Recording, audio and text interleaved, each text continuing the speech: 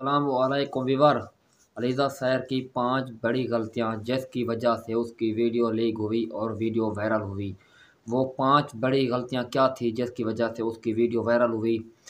आपने सबसे पहले क्या करना है? वीडियो को फुल वॉच करना है और स्किप भी नहीं करना है, ताकि आपको कंप्लीट पता चल जाए, कंप्लीट समझ आ जाए कि उसकी क्या वजह थी, जिसकी वजह से उसकी वीडियो वायरल और लीक हुई। पहले नंबर पे तो आपने उसकी चाल चलन तो देख ली होगी किस तरह से वो व्लॉगिंग वगैरह जहाँ पर वीडियो बनाती थी तो किस तरीक़ा से बनाती थी उसकी। वो तो आपको समझ आ चुकी होगी, आप भी उसकी वीडियो को देखते होंगे, विवर भी होंगे, कब तकरीबन कम से कम।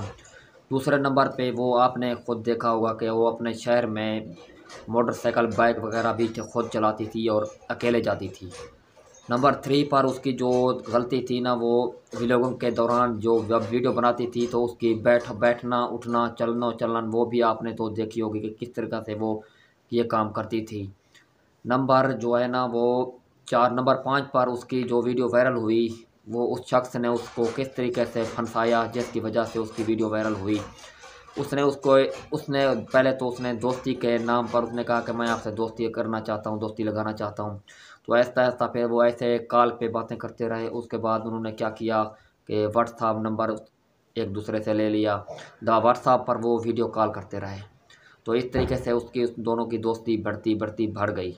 उसके बाद उसने कहा अलीदा सर ने कि मुझे इतना रकम चाहिए, जितना भी उसने मांगी डिमांड की कि मुझे दो, मैंने अपना घर बनवाना है।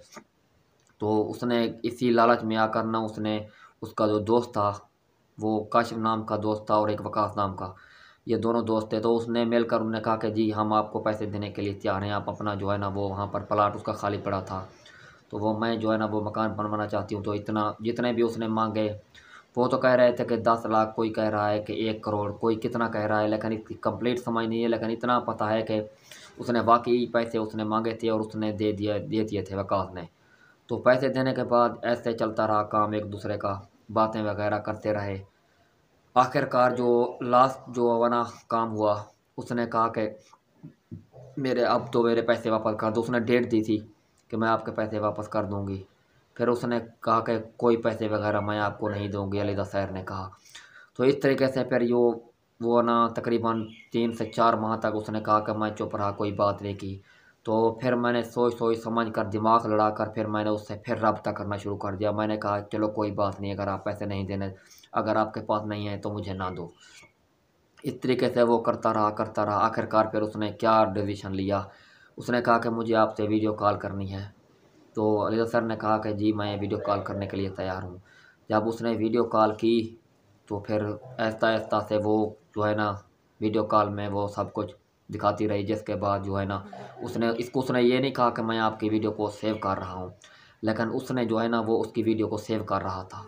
उसको पता नहीं था कि ना रिजा सर को कोई ख़बर थी, ना ये उसके इल्म में था कि ये काम करेगा। उसने वीडियो सेव कर ली। उसके बाद तकरीबन एक माह तक उसने कोई भी वीडियो उसको अपलोड नहीं किया। पहले उसके पास, उसको बताता रहा कि मेरे पैसे वापस कर दो, वरना मैं आपकी वीडियो जो है ना, वो वायरल कर दूँगा, लीक कर दूँगा, पब्लिश कर दूँगा। उसने कहा कि नहीं, कोई जॉब करना है, आप करो। मैंने कोई पैसे नहीं देने। तो इस वजह से उसने ये काम किया।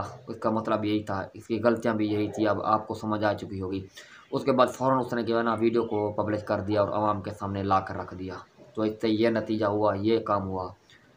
तो मेरा वीडियो बनाने का मकसद यही था कि मैं आपको ये इन्फॉर्मेशन वीडियो दे दूँ ताकि आपको भी पता चल जाए। अगर मेरी वीडियो आपको अच्छी लगी हो तो मेहरबानी करके मेरे चैनल को सब्सक्राइब कर दें।